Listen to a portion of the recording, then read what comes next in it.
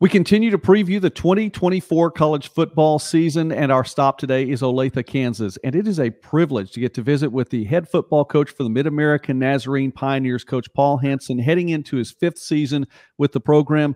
Coach, a great season last year. I do want to start there because you all were nine and two, a share of the conference championship. Uh, really, I mean, just seemed to get better as the season went on. It was a great year. Can you talk about that a little bit to get us going?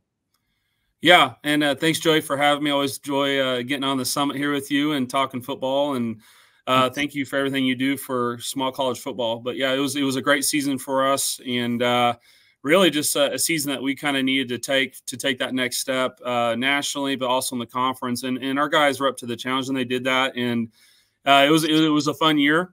And but you know, kind of you know, it's about to hit June here, and so we're kind of moving on to this next season. But we're really going to use last year to kind of springboard us into this next season and continue that success. Yeah, I know year by year you have to do that, but I, still, you know, I wanted to look back just a little bit. It, it, was fun to watch you all and to to see the performance, and and it, again, it's a program that just seems to take step by step by step in your tenure there. And though, look, can we look back at least to the spring? Then, how'd the spring go for you? Yeah, no, it, it was really good, and it definitely, I think it definitely helps too when you have so many guys returning. Uh, it makes spring ball a lot better too. Um, just all the reps, all the competition, just everything's a little bit better. And and obviously, like I said, springboarding off the, the, fall season, you know, a lot of our guys are they're pretty hungry uh, going into this next year. So we had a really good spring. Uh, you know, when you have a lot of guys back, you know, we actually were able to have a bigger, we had more guys this spring than we have since I've been here. So uh, it was it was a lot of fun, a lot of competition, and, and really during the uh, the spring game, we actually did something I haven't done before here. We actually drafted uh, the two teams. So we had a red we had a red and a white uh, spring game, and uh, I mean even the coaches were drafted. So I kind of we drafted everybody. Uh, we had a lot of fun with it, and I just kind of during the spring game, I, I kind of just walked around with a with a whistle and acted like I was doing something, but I let them kind of do it and uh, really, our guys really enjoyed that. It was a very competitive spring game. Uh, at times, almost got too competitive, uh, and so we had to bring everyone in a little bit and say, "Hey, you know, we're still on the same team." But the guys had a lot of fun with it. But really, we're the point now in our program and our culture that we're able to do this type of stuff because we're keeping kids around and and uh, that's a testament to our coaches, the administration here, but also the the type of kids we're bringing in here. And uh, it's been been pretty cool to see the transformation from 2020 to where we're at now. Um, and uh, so it's, it's been pretty cool to see.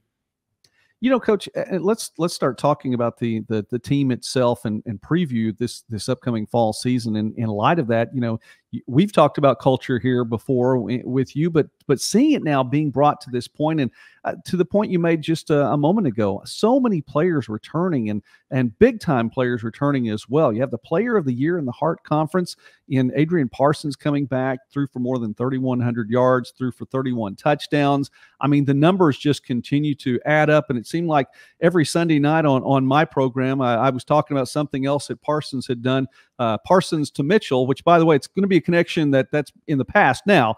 But uh, so many things that uh, that were going on. Take take us through your offense.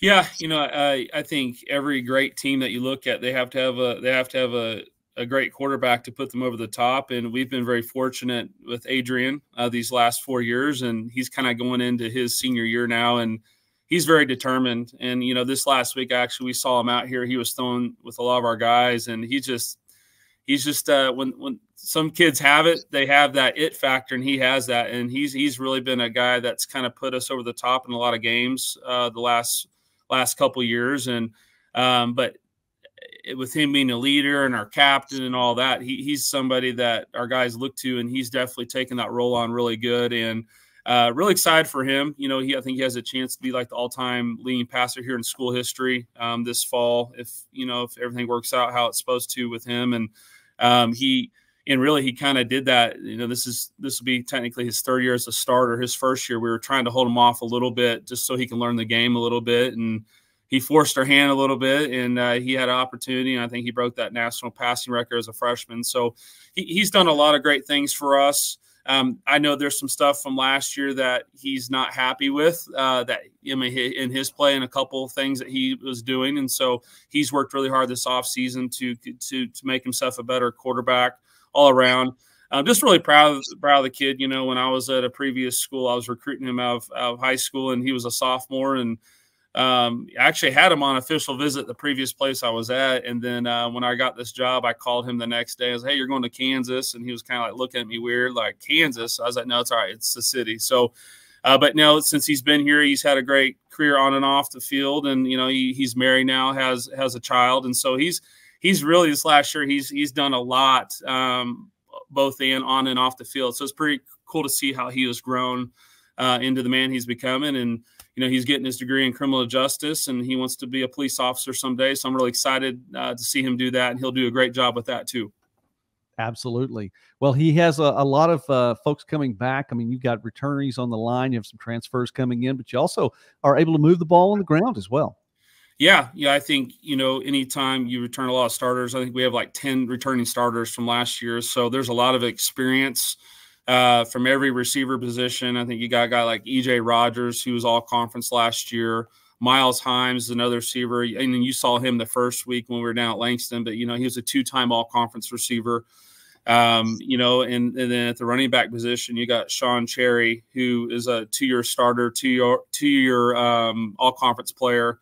Uh, Cam Finley uh, is another running back that's coming back. Uh, you know, he he came in with me in 2020, and so this is his COVID year, and so we still this is the last year for that. Um, so if anyone's wanting to know, but uh, yeah, so he's kind of the old, the old guy on the team, but uh, really proud of him. He's stuck it out, and he's been a great player for us. Kind of a change of back. Uh, type player for us, and he also returns kicks and punt returns, and so he's been a really good player for us.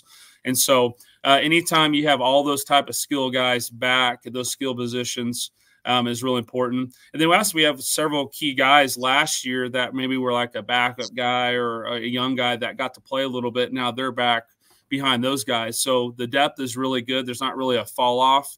Um, so I feel like some of the great teams that they have really good depth and uh, and I feel like we have a lot of guys that have played or been in, in key situations that will help us uh, during those key spots. And then up front, we have four returning starting offensive linemen that are back. Um, which is always a key when you have a, a, big unit like that. And and we have a couple guys too that have transferred in that we're really excited about that are going to push those guys to maybe get a starting position. Uh, but uh, you know, up front, Justin Miller was an All Conference player last year as a sophomore, and Blaine Blevins, uh, he's a, he's our center. He also long snaps and short snaps, but he was All Conference as well. So um, that that's really important when you have the two guys on your team that touched the ball every play last year are back. So that's really important.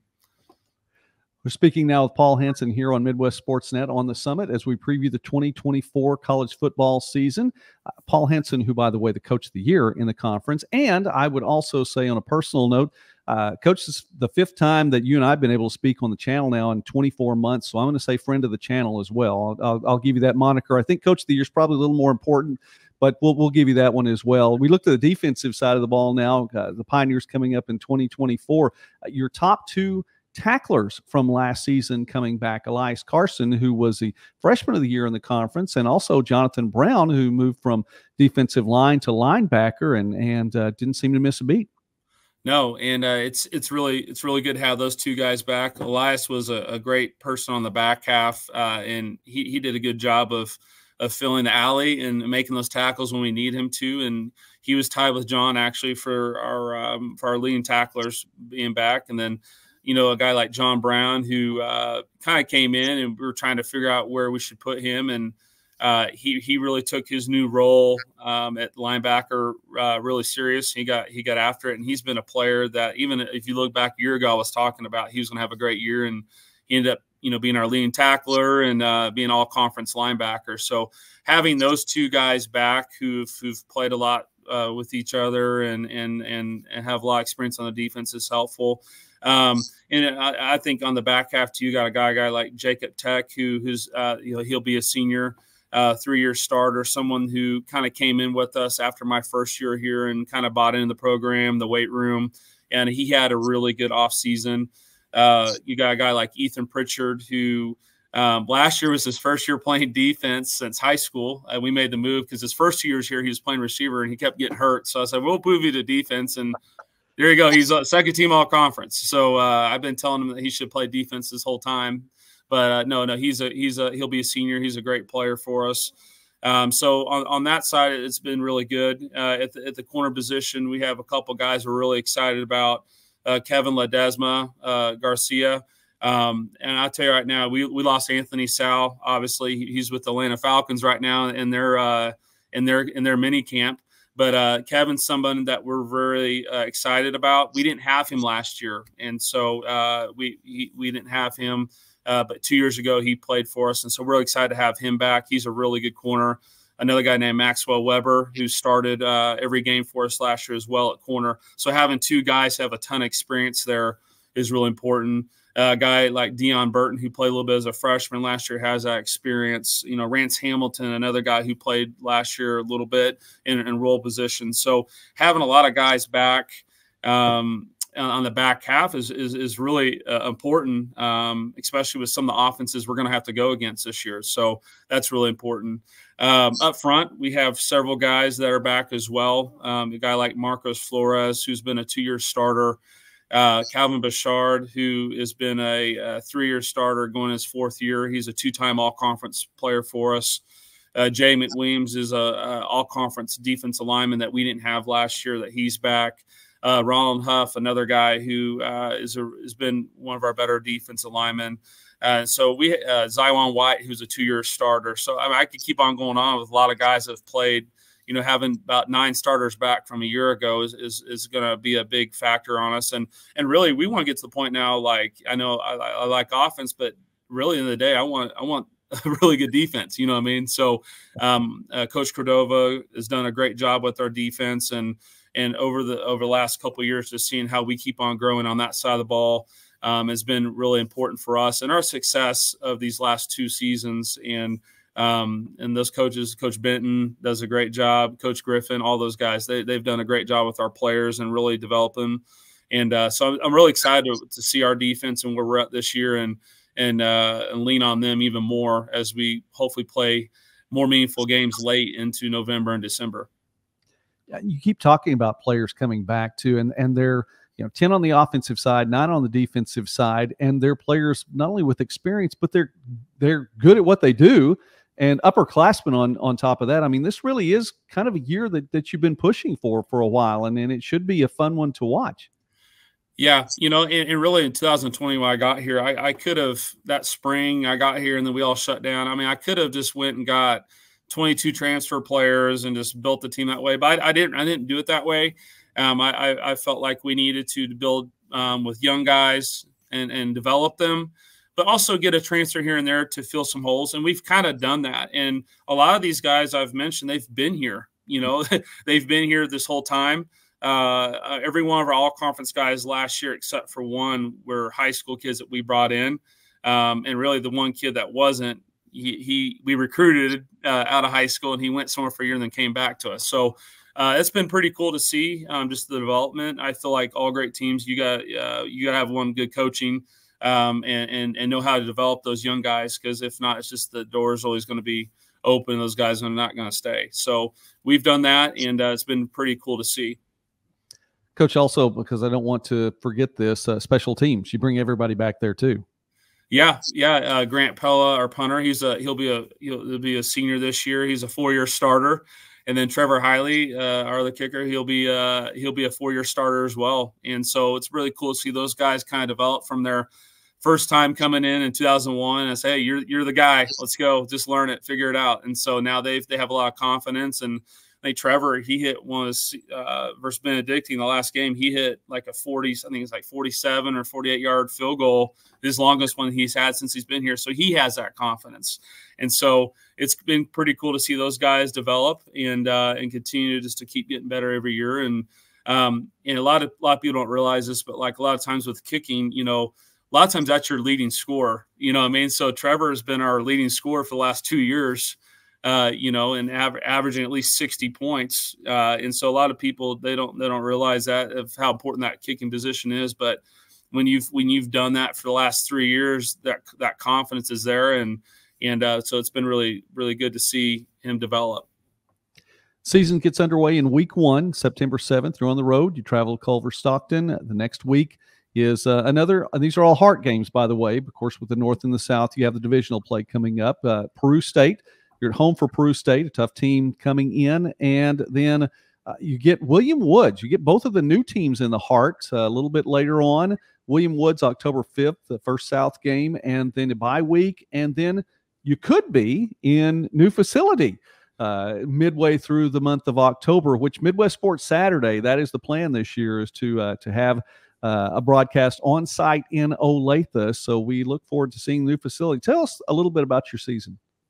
Yeah, you know, obviously we're really excited to uh, get football back on campus, and uh, I know the construction crew. They're actually I was out there this morning. They're working really hard to uh, to make that happen. Uh, we've had a lot of rain here lately, though, so we need it needs to quit raining.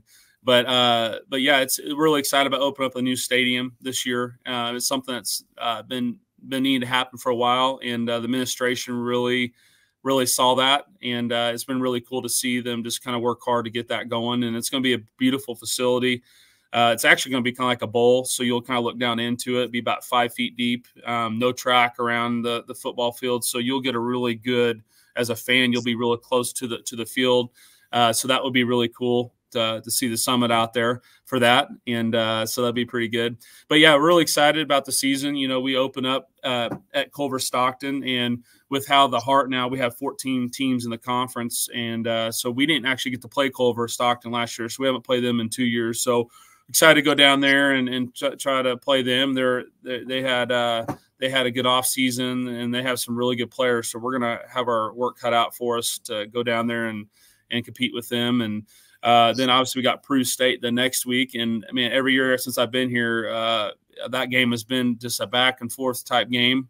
The coach O does a great job up there at Peru State. So really early on, we're going to have some pretty big tests, and then obviously we got Graceland the week after that, and so. Uh, they've been a team that's been on a rise now for a couple years, and so uh, that's going to be a really tough game for us. And so early on, we're going to have to come out um, on, on fire because we have some teams that can that can definitely beat us.